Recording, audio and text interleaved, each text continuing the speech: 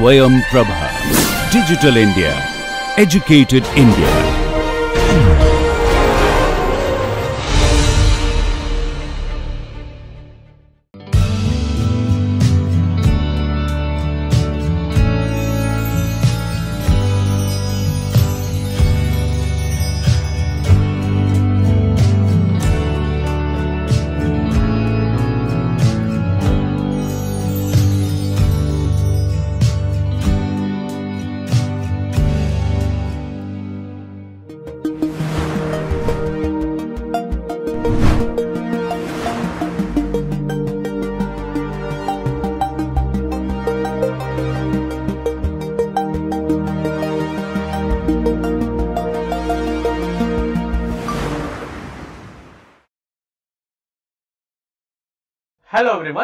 Is Dr. Vishal Trivedi from Department of Biosciences and Bioengineering IIT Guwahati.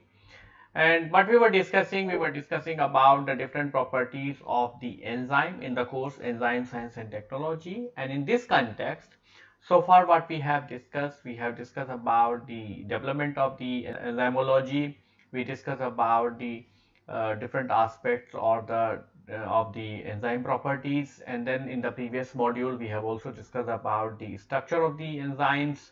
So we discussed about the primary structure secondary structure tertiary structure and quaternary structures.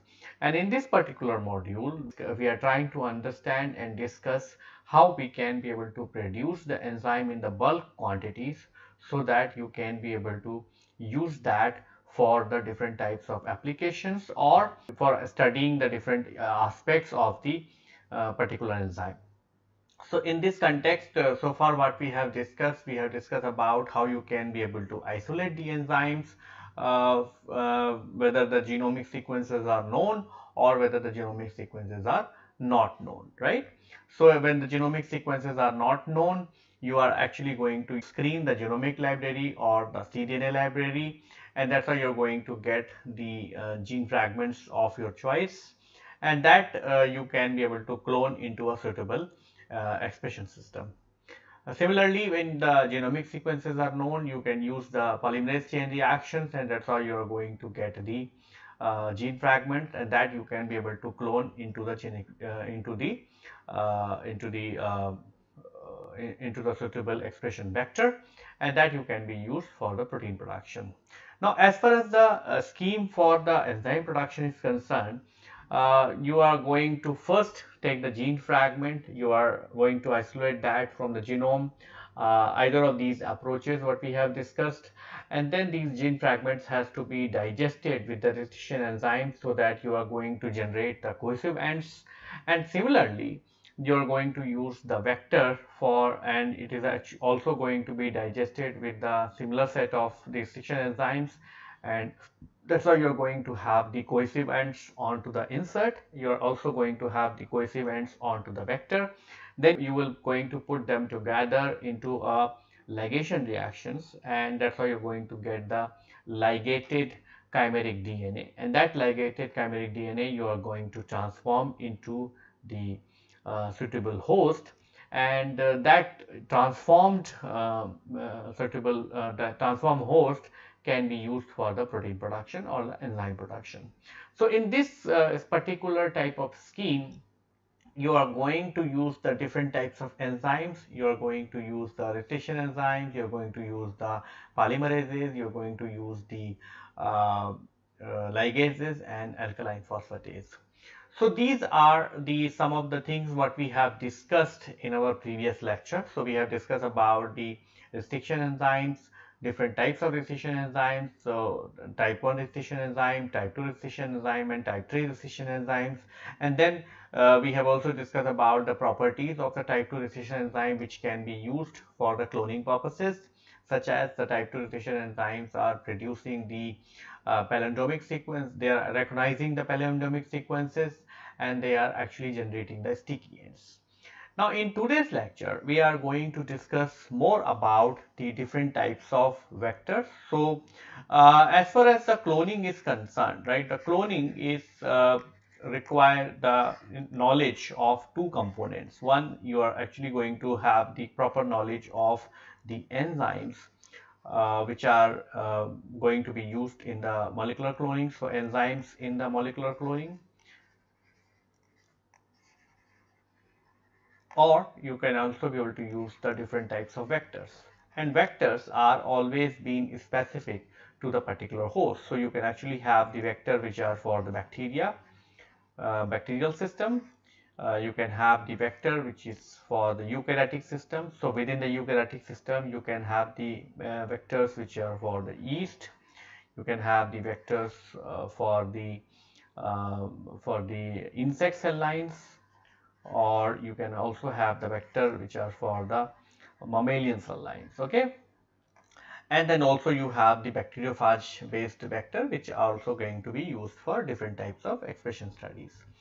So in today's lecture we are going to discuss about the different types of vectors and how you can be able to use them for the cloning of the particular gene.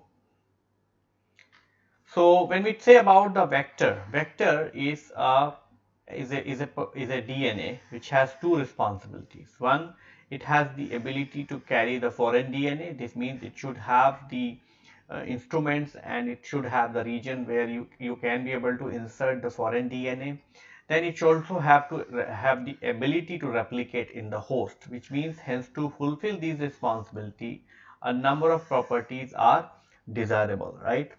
This means if you want to design a vector or if you want to analyze a vector, you should follow the certain criteria for uh, checking its uh, uh, suitability and as well as the uh, you can check the different properties. So what are the different criteria one can use for uh, choosing the good vector? So good vector should be of low molecular weight, the low molecular weight or the size confers a number of advantages. For example, the small size vector is robust toward the shear stress and it is easier to handle. In addition, the after ligation the foreign DNA into the vector, the size of the resulting recombinant DNA will be small and it will be easier to deliver the recombinant DNA into the host cells because once you generate the recombinant DNA, the recombinant DNA has to be transformed or delivered into the host and then only you can be use that for that recombinant DNA for the protein production or the enzyme production. So if the size of the vector itself is going to be very high then the when you put the rec, uh, recombinant DNA the resulting size is also going to be even bigger. So in that case sometimes people also face the uh, you know the delivery issues like you cannot deliver that big DNA okay then the post entry in the host should give the phenotypic change. That is very important, right? Another important feature is that the vector DNA should give you the additional phenotypic changes in the host cell so that the recognition of the transformed cells will be easier which means it should show you some phenotypic changes like the cell should turn like green so if you imagine that if i could easily be able to recognize the cells which are getting the DNA or which are not getting the DNA simply by the fact that the DNA containing cells are going to be green in color, right, or blue in color or white in color.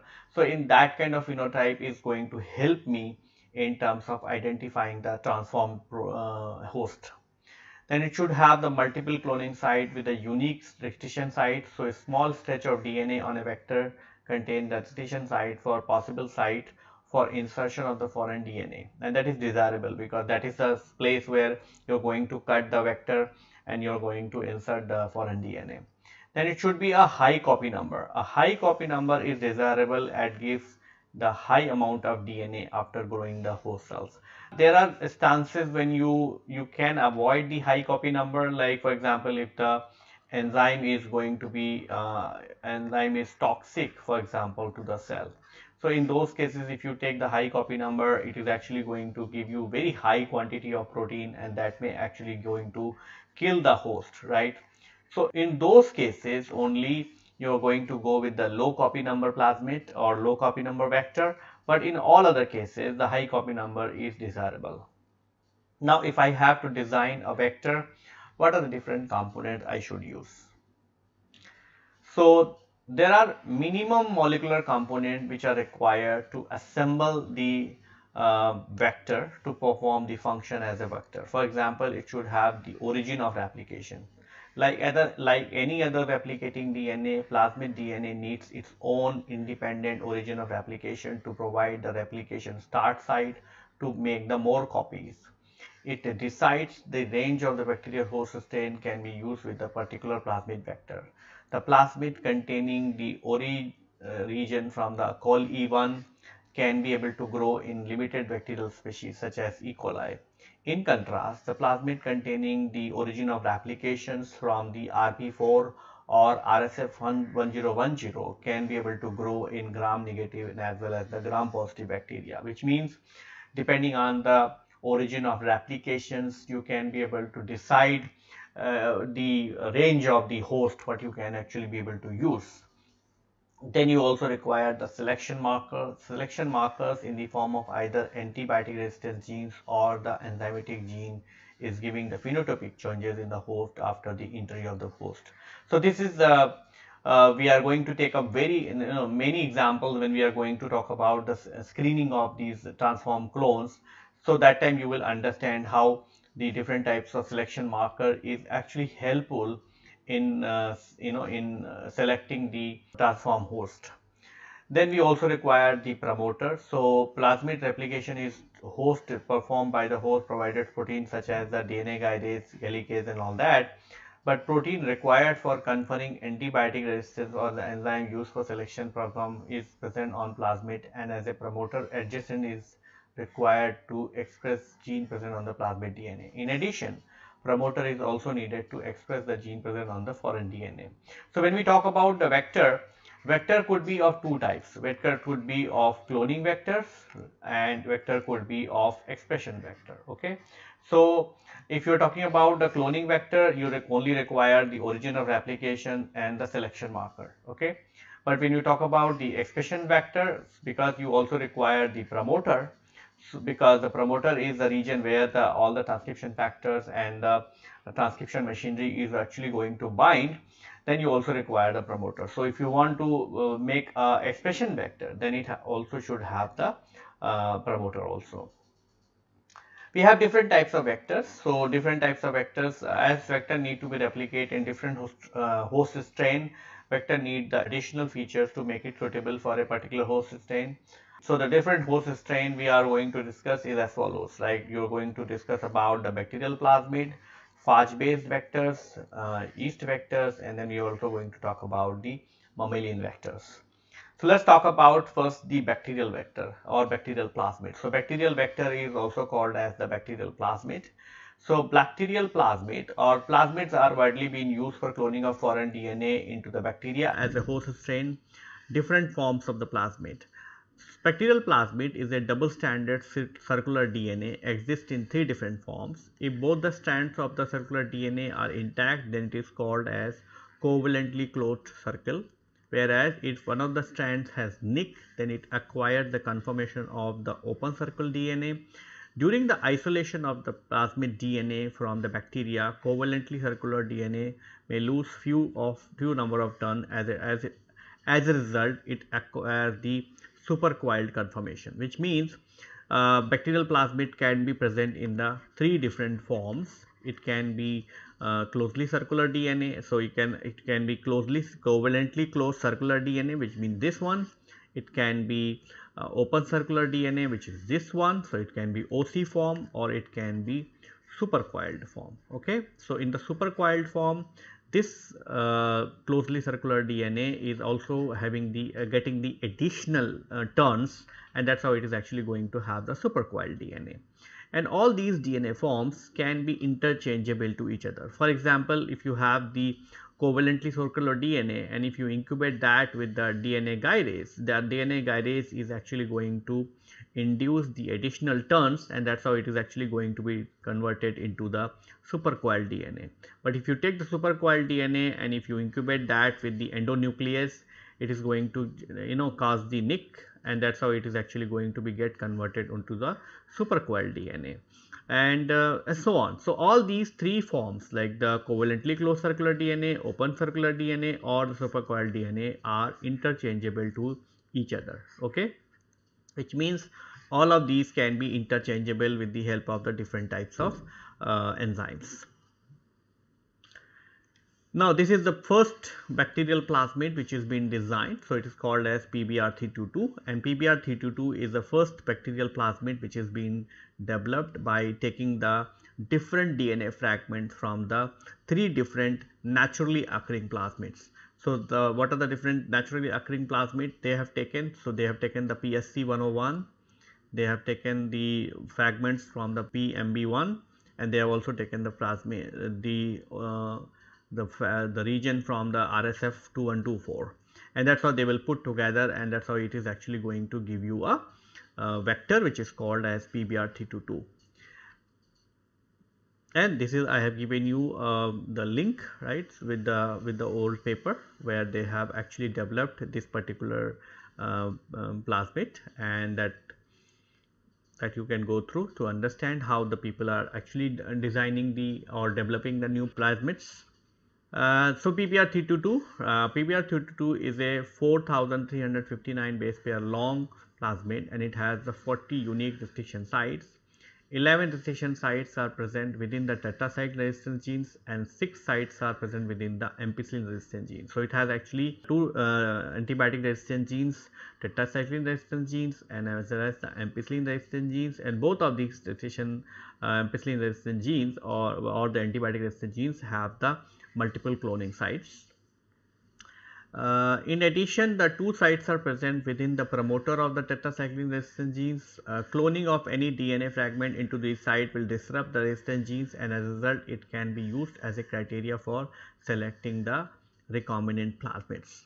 What is the application of PBR2? It is the most popular plasmid for the cloning purpose. So, you can see that there is there is no promoter. So, there is no promoters this means it is actually going to be uh, be a cloning vector and uh, it is used for studying the transcription as well as the translation of the prokaryotic gene. Uh, it is primarily source to design and construct the improved plasmid for the specific activation which means PBR22 is a basic plasmid and that was very popular and it was very extensively being used for cloning reactions and it has also been a source for designing the further advanced plasmids such as PUC19. Okay. So, PUC19 is the initial example of the bacterial plasmid of a small size, so 2.8 kb. You remember that the PBR32 was 4000 base pair. So, containing the multiple cloning site, the usual place to keep the MCS is always been between the initiation codon and the codon 7 and MCS allow design of many cloning strategies as a large number of uh, enzyme available for cloning. In addition, the two enzyme from the multiple cloning site can be used to insert the foreign DNA without disturbing the plasmid sequences. PUC19 vectors also has a small stretch of DNA which encodes for the rapid detection of an insert by the blue white screening. So, uh, do not worry about the blue white screening that anyway we are going to discuss in our subsequent reaction or subsequent lectures. Now, how you can be able to isolate the plasmids. So, first you are going to do is what you are going to do is you are going to transform the um, you know the bacteria with your plasmid which you want to isolate. So, they will and then you will grow them at a OD of 0.6 to 0.8.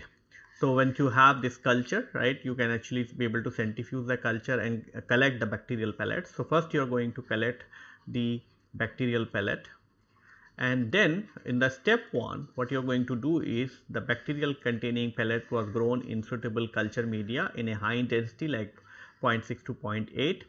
Each bacterial cell contains the chromosomal DNA, plasmid DNA and the cellular protein. The bacterial culture is collected by the centrifugation at the bottom and resuspended in the solution 1 containing the 50 millimolar glucose, 25 millimolar tris pH 8 and 10 millimolar EDTA. So, in the first step what you are going to do is you are going to pellet down the bacteria, remove the media supernatant and then you resuspend this bacterial pellet into solution 1 which contains the 50 millimolar glucose, 25 millimolar tris and 10 millimolar pH EDTA uh, pH 8. Then in the step 2 you are going to do the alkaline lysis. So, bacterial cells are treated with the solution 2 containing 0.2 normal NaOH and 1 percent SDS so, what will happen is that the NaOH is actually going to denature the uh, DNA whereas the uh, SDS is actually going to break open the cells and uh, it, so it is actually going to lyse the cells and it's going to denature the DNA both the chromosomal and as well as the plasmid DNA. Then in the step 3 you are going to do renaturation. So in the third step the denatured DNA is renatured with the solution 3 containing the potassium acetate, glacial acetic acid and in this step small DNA renature back quickly whereas the chromosomal DNA remain denatured. So this means uh, when you are actually going to have the chromosomal DNA and the plasmid DNA into the uh, alkaline lysis method and when you are going to renature the chromosomal DNA is big right. So, it is actually not going to be renatured whereas the plasmid DNA is going to be small uh, compared to the chromosomal DNA. So, it is actually going to renatured back and that is how it is going to be present into the solution whereas the chromosomal DNA is going to be present in the pellet. Now what we have to do is we have to do we have to remove the protein because at this stage what we have is we have the plasmid DNA and we have also have the small amount of protein. So what you are going to do is you are going to treat this supernatant with the chloroform and uh, phenol mixture right. So when you do the chloroform and phenol mixture the chloroform and phenol are going to denature the proteins and that is how you are going to remove the protein from this okay. So, protein is going to be present in the pellet and the plasmid is going to be present in the supernatant. So, in the step 4 you are going to do the deproteination. So, resulting uh, supernatant containing plasmid DNA and the protein is treated with the phenol chloroform isoamyl alcohol mixture to remove the protein in the precipitate whereas the plasmid remain in the solution. And in the step 5 you are going to do the alcohol precipitation. So, you add alcohol and that is how the, uh, the plasmid is going to be precipitated by the 100 percent alcohol. And once you isolate the plasmid, you are going to see the uh, classical three different forms. You are going to see the covalently circular DNA and if you analyze them onto uh, agarose gel. So, when you isolate the plasmid and you analyze them onto a agarose gel, what you are going to see is you are going to see all the three forms onto the plasmid. So, you are going to see the closed circular DNA, you are going to see the open circular DNA and then you are also going to see the supercoiled DNA. And what you see here, this is this is actually the RNA what is also present because when we done this experiment, we have not added or we have not removed the RNA. Otherwise, what you can do is you can treat this whole reaction with the RNAs and that is actually going to remove the RNA from the reactions. So, this is all about the plasmid isolations and we have prepared a small demo clip so that you can be able to more familiar with the different processes and in this particular demo clip we have taken care of the manual method and we also have discussed about the Uh, uh, kit method as well. Hello everyone, myself Suram Banesh, research scholar at Department of Biosciences Bioengineering, IIT Guwahati. In this video, we'll be demonstrating how to isolate plasmid using manual method and how to extract the plasmid DNA using phenylchloroform extraction method or isopropanol method. Both the methods will be uh, demonstrating in this video and also will show uh, how to analyze the results like uh, what are the different bands you will get after plasmid uh, running analyzing a gel. Hello everyone, in this video we will show you how to isolate plasmid DNA using alkaline lysis method.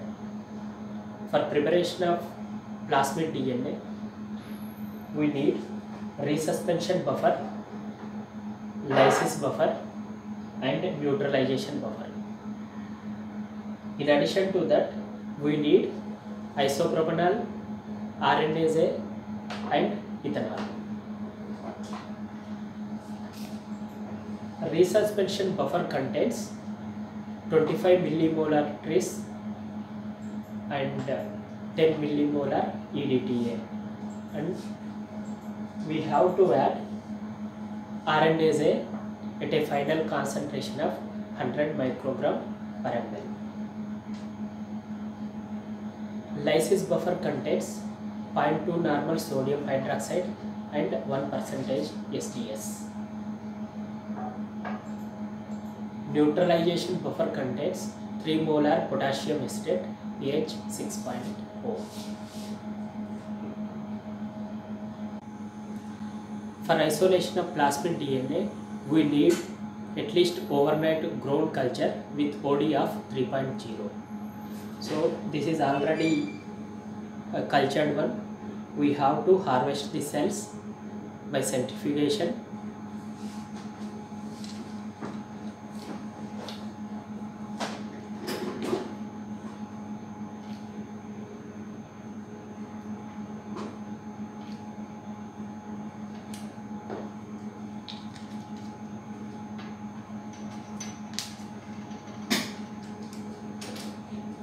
these files we have to centrifuge 11000 rpm for at least 1 minute to get the cells precipitated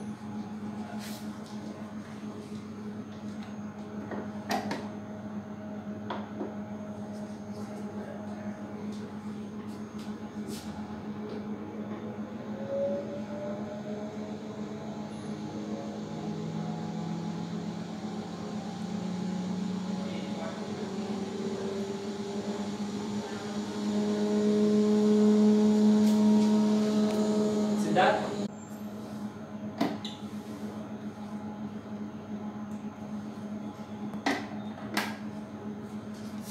now we got the cell pellet we can proceed for alkaline lysis method to isolate plasmid DNA in first step we are going to add resuspension buffer which contains RNase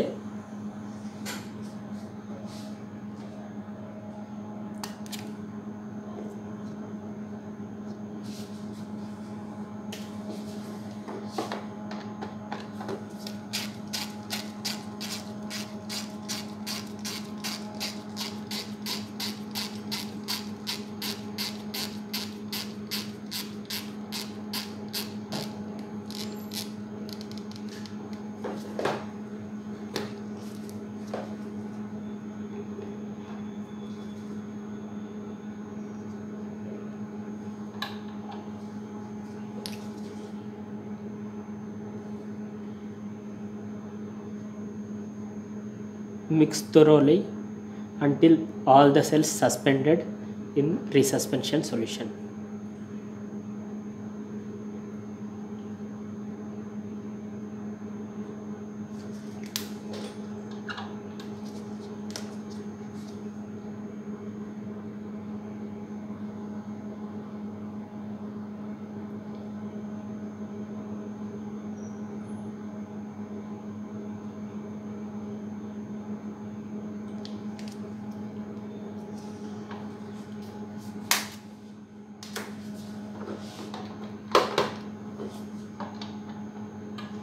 After the cells got suspended completely, now we have to lyse the cells using strong alkaline condition that is 0.2 normal sodium hydroxide and also 1 percentage sodium dodehyl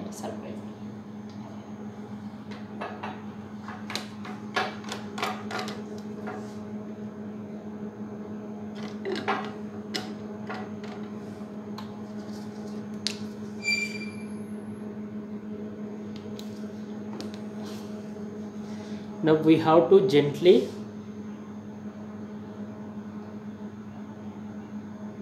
flip the tube in order to lyse the cells completely.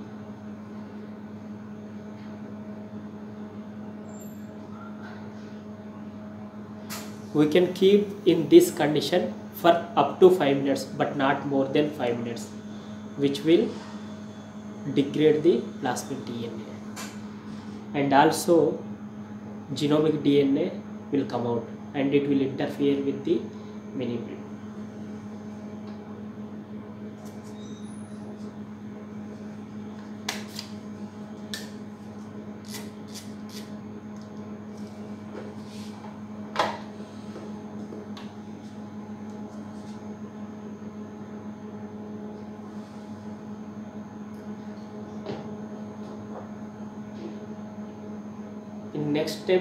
we have to neutralize the sodium hydroxide using neutralization buffer to prevent any further degradation.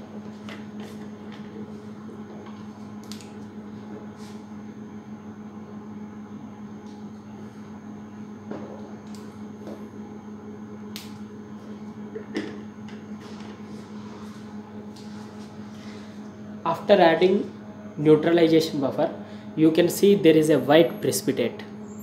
That means all the proteins precipitated by neutralization buffer. You can flip the tube two three times completely precipitate all the remaining proteins. Now the solution contains solution part contains our plasmid dna and the all the precipitated one contains genomic DNA and also the proteins from bacteria. Now we have to centrifuge this lysate for 10 minutes at 11000 G.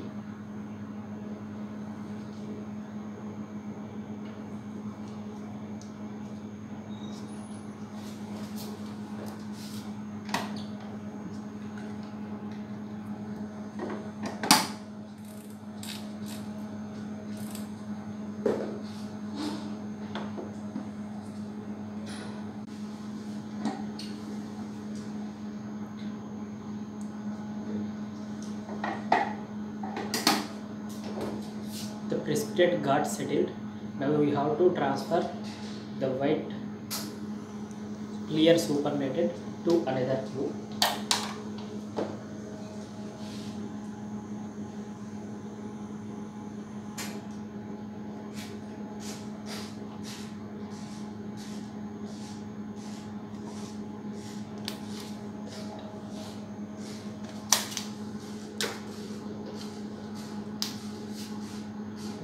clear supernatant contains plasmid DNA.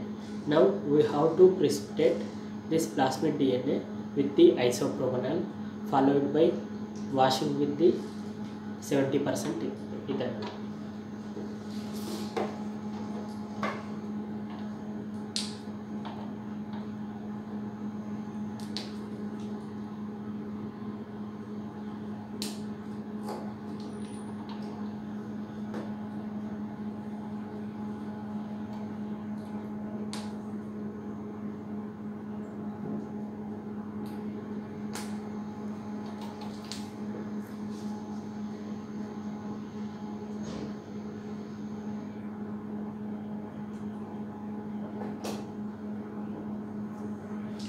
We can see white precipitate in the solution. Now we have to centrifuge it collect the that white precipitate and wash with the 70 percent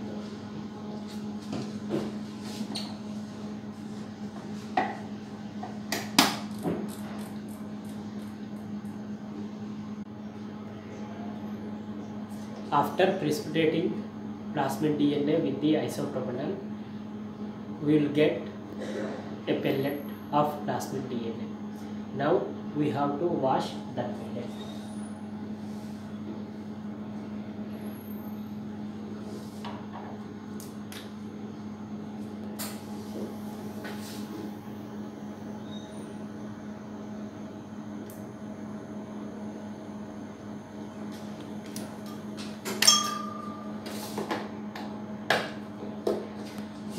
this pellet with the 70% ethanol.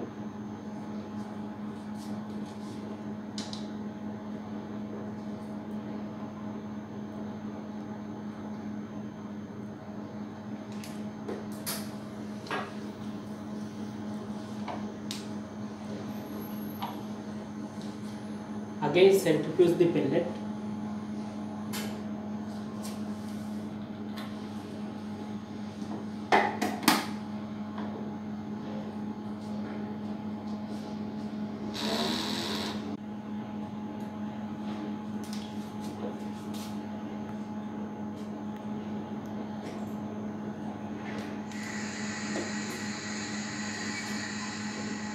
now the pellet we have to air dry the pellet and dissolve it in deionized water or TE buffer. We'll keep leave at room temperature till the till the ethanol got evaporated. Next we will add tea. To easy the process of manual alkaline lysis method, there are several kits available from commercial vendors. The basic difference between alkaline lysis method and the kit based method is kit based method contains silica based columns where lysis lysate which containing plasmid DNA binds to these beads and after washing whatever the unwanted components are they will elute out and we will elute the plasmid DNA in TE buffer or water. The composition of the lysis buffer is same as previous uh, method and also neutralization buffer resuscitation buffer every buffer contains same composition but in commercial kits we have one extra wash buffer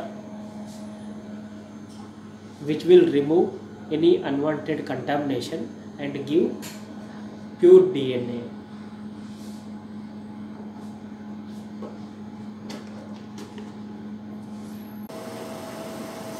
We have already seen isopropanol precipitation of plasmid DNA, but there is another method which we can utilize for isolation of plasmid DNA. This is called phenol chloroform extraction. In this method, once extracting, once uh, recovering the supernatant which contains plasmid DNA, we have to mix with the equal portion of phenol chloroform mixture which is readily available. Once we mix with the phenol chloroform, that since the DNA is more tends to solubilize in water, then the DNA remains soluble in water and whatever the other content, protein or other materials, they go into phenol based medium. So once we will centrifuge that one and we will collect the water based thing and again we will go for silica based method purification और we can use isopropanol precipitation by washing with the followed by washing with the seventy percent ethanol then again resolubilizing or resuspending it I nucleus free water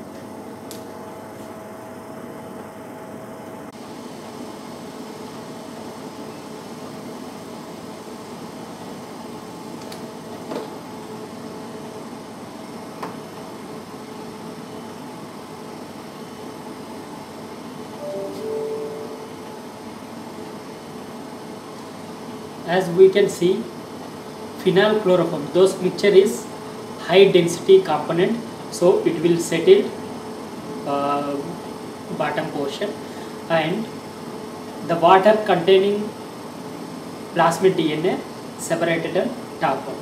We will just take out this top portion which is uh, uh, containing plasmid DNA then we will precipitate with the isopropanol and uh, use for other applications.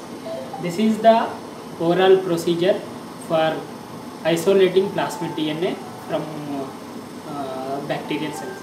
But we have to remember all the methods having their advantages but we will prefer isopropanol method.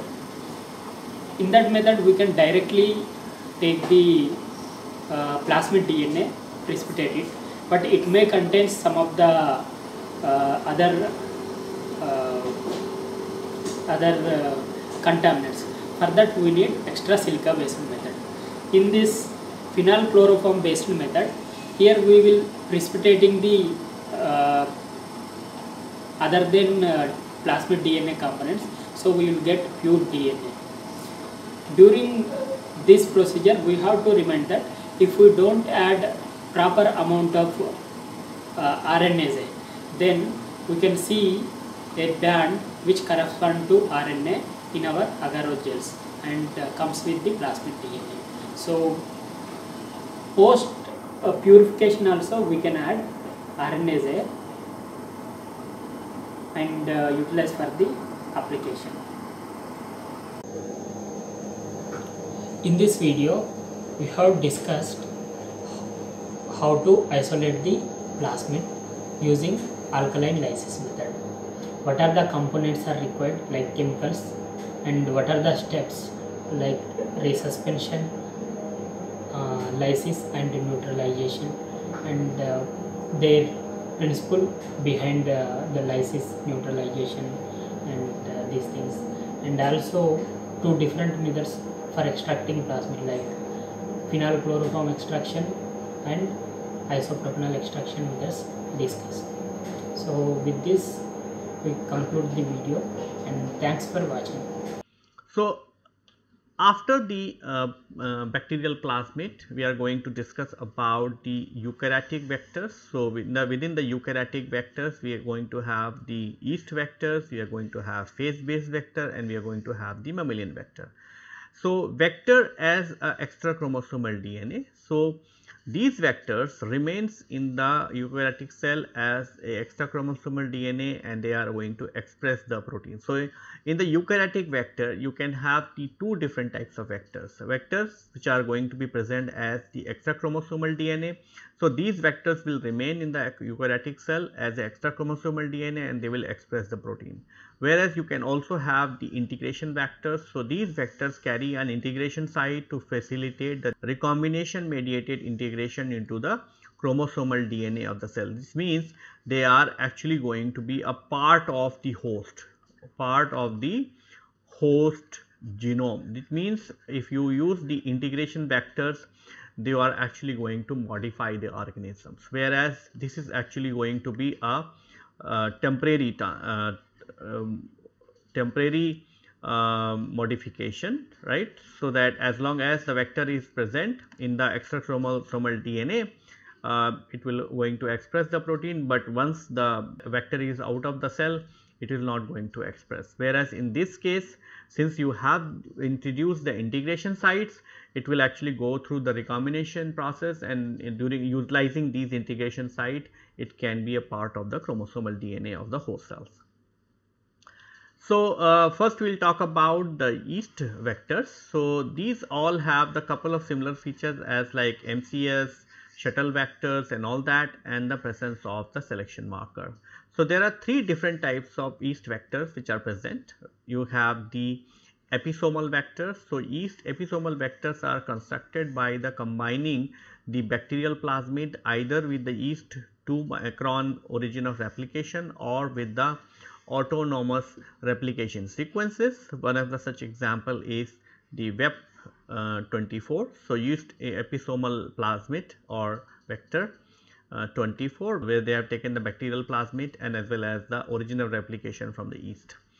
Uh, a representative 2 micron based episomal vector, uh, it is a 6.3 kb plasmid with a copy number in the range of 50 to 100 per cell and these plasmids are much more stable than the autonomous replicating sequences based plasmids.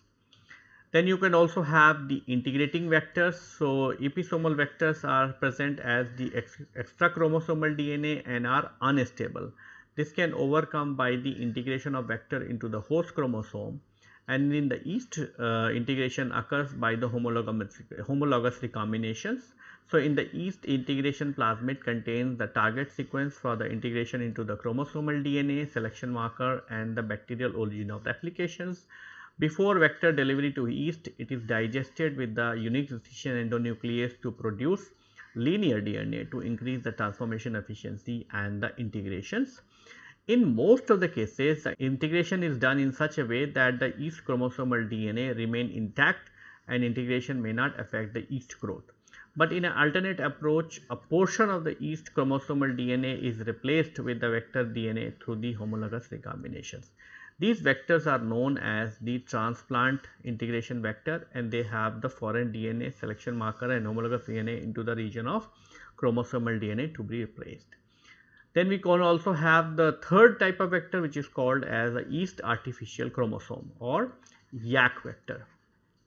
So, yeast artificial chromosome is the vector of the choice used for cloning very large DNA fragments, right. Remember that when we were talking about the preparation of the human genomic library, we have said that we are going to clone that into the YAC vectors.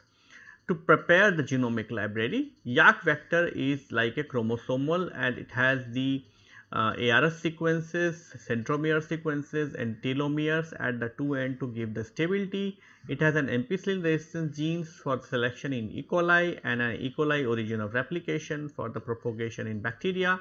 In addition, it has the ARS for replication, SEN for the centromere functions and the URA3 and tryptophan 1 for the selection in the yeast. For cloning, uh, YAC is digested with the enzyme called SM1 and BAMH1. So, you are going to digest the YAC with the SM and BAMH1 and you are going to treat that with the alkaline phosphatase to generate a linear plasmid. Now, foreign DNA is added for the ligation. So, at this stage you are going to add the foreign DNA and that is how it is actually going to get inserted into the these two fragments and the recombinant DNA will allow a yeast to grow on a uracil and tryptophan deficient media, right. So, screening anyway we are going to discuss in our subsequent class. And then we have the uh, eukaryotic plasmid, another eukaryotic plasmid where you which you can use in the insect cell lines. So, these are the vector for the uh, for expressing the protein in the insect cell lines and uh, or the baculovectors right. So, baculovirus is a rod shaped virus infecting the invertebrate including the insect cells. Post infection the virus is either released as a free virion or many virus particles are trapped in a protein complex known as polyhedron. The protein responsible for trapping the virus into polyhedron is polyhedrin and it helps in the transmission of virus from one host to another. Okay. The polyhedrin is not important for virus propagation, but it is under very strong promoter to produce the protein in large quantity. So, realizing this fact, the replacement of the polyhedrin gene with a foreign DNA fragment will allow the expression of the protein in a large quantities. So, the baculovirus Autographa california multiple nuclear uh, polyhedron virus or the ACMPNP this is what is used as a vector to express the protein. The transfer vector map of the ACPNP is given, right. So, this is the vector the map of the AC, ACMNPV where you have the uh, cloning site. This is the cloning site what you have. The gene of interest will be inserted into the cloning site placed adjacent to the promoter. So, you have the uh, this is the polyhedrin gene promoter right and it has the polyhedrin termination sequences downstream to the cloning site to stop the transcription of the cloned gene and or more will be discussed in future lectures. So, this is what you have. You have the ACPNP uh, vector where you have the polyhedrin promoters and next to the promoter you have the cloning site. So, within this cloning site you can actually be able to insert the gene of your interest right? And that is how it is going to start expressing this particular protein instead of the polyhedr polyhedrin. And it also has the termination sequences so that the transcription is going to stop uh, after this. And uh, you can actually be able to take this and put it into the uh, into the insect cell lines and that is how you are going to express then we have the eukaryotic vectors like the mammalian vectors. So, large number of excellent mammalian vectors are in circulation to clone the eukaryotic gene for the protein synthesis and to study the transcription mechanisms. It contains a eukaryotic replication of origin from an animal virus such as SV40 from a simian virus, a promoter to derive the expression of foreign gene and the selection marker and the other eukaryotic features such as ordinal annihilations, transcription termination, etc., etc. So, this is what is the uh, mammalian expression vector where you have the multiple cloning site, you have the promoter and you have the other features of the uh, plasmids. So, you can also have the origin of replication for the eukaryotic system, you can also have the origin of replication for the bacterial system, then you have the antibiotic resistant genes and so on. Then we have the bacteriophage based vectors. So, bacteriophage are the virus using the bacteria as their host for replication. Bacteriophage lambda is the virus of E. coli and have been used to develop vector for the genetic recombinations. So, what you have is a bacteriophage genome. So, phage genome is a linear double stranded DNA of 48.5 kb. On both end of the genome, it has a stretch of 12 nucleotide which are complementary to each other, right. So, you have the two strand, two sites, right, two sites on both end of the genome. One is called as the left cohesive site, the other one is called as the right cohesive site and within this you have the different region of the uh, genome which is uh, expressing for the different part of the body. So, these sites are called as COS sites and it allows the circulation of the viral genome after entering to the host cells. Genes are arranged between these two cohesive sites of the code for the protein responsible for making the head, tail, factor for recombination and the process of lysogeny. The central region of the genome is non-essential and can be replaced with without much affecting the growth and the infectivity of the virus. As a result, this region can be exploited to develop a cloning vector with multiple approaches. So, uh, how it is actually going to pack the genome. So, the far genome is replicated by a rolling circuit model to produce the long genome whereas COT sites are present on the regular interval, right. So, when it is actually going to produce the uh, phage genome into the outside right and it is actually going to start producing the COS site. So, you can imagine that you have one COS site, you can have another COS site and once this COS two COS sites are going to be out, they are actually going to come together and it will they will get circularized. The two flanking COS sites and the DNA between them constitute the viral genome or the monomeric unit. In the presence of head precursor, the long genome is cleaved into the monomeric unit and encapsulated. Nicks are introduced on both the strand of the genome to generate the linear strand to serve as a cohesive site to facilitate the circularization in the host. Okay, so this is what the bacteriophage lambda cloning vector has a middle segment responsible for the insertion or excision and this region can be replaced with a foreign DNA with the help of the two BAMH1 site present on the either side of the uh, insertion or excision regions. Lysogeny cycle, lytic cycle and it will form the plaques. So, bacteriophage vector are the EMBL3 and EMBL4. So, this is what exactly going to happen how you are going to insert the uh, foreign DNA into a IE site. Okay. So, this is what uh, all about the different types of vectors uh, what are available for the cloning of the foreign DNA or calling cloning of the uh, enzyme into the um, suitable expression vector and uh, depending on the uh, production depending on the origin of that particular gene you can be able to have the uh, flexibility to choose the different types of uh, vectors right you can use the mammalian expression vector you can use the E. coli expression vectors and so on.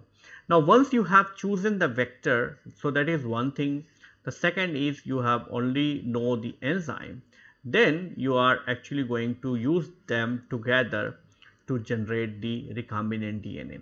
Now how you are going to do that is you are going to run the parallel multiple reactions. So what you are going to do is first from the genome you are actually going to generate or you are going to produce the fragment. So, you are going to produce the fragment right. Similarly, from the vector you are going to have the circular vector. Okay. This circular vector will have the multiple cloning site and within the multiple cloning site you are going to introduce your insert. Now, for this fragment you are going to generate or you are going to produce the restriction enzyme. So, for example, you can treat it with the two restriction enzymes restriction 1 and 2. So, it is actually going to produce the uh, you know the the fragments with the cohesive ends. And these two cohesive ends like for example this is for the restriction enzyme 2 this is for restriction enzyme 2 1 same is true for the vector also. So vector also you are going to digest with the help of this and that right? And okay so these are the restriction enzymes. So again the same same set of restriction enzyme you are going to use for cutting the vector also. Then you both took for the ligation reaction. Okay just now as we have discussed in the previous lecture right? And once you put the ligation reaction you are going to have the recombinant DNA with your insert into the multiple cloning site. Okay so this is going to be your chimeric DNA or recombinant DNA. Now this chimeric DNA you are going to transform into the host okay and the host is going to have this right. So, host since the this uh, restriction site uh, this plasmid is going to have the origin of replication it is actually going to replicate. So, uh, depending on the genome depending on the origin uh, organisms from which you are isolating this gene uh, you can be able to choose the different types of vector. And depending on what kind of applications if you want the protein or the enzyme in milligram range you might be you, you be good to use the equalized system. If you want to use uh, the higher uh, level then you can use the yeast expression vectors Similarly, if the genome is or the organism is um, uh, very close to mammalian system, then you should use the mammalian expression system or the yeast expression system because that will give you the uh, properly folded proteins. So, uh, this is all about this uh, you know the cloning of the particular enzyme into the suitable uh, vectors and now you have what you have done is you have generated a recombinant DNA right. So, once you have so this is the recombinant DNA what you have generated right. Now once you generated a recombinant DNA it has to be transformed into the host and then you are going to use that for the protein production or the enzyme production. So in our subsequent lecture uh, we are going to first discuss about how you are going to insert or how you are going to uh, you know uh, devise the different types of strategies to Um, deliver the DNA recombinant DNA into the host of your choice and subsequent to that we are also going to discuss about the protein production. So with this I would like to conclude my lecture here. Thank you.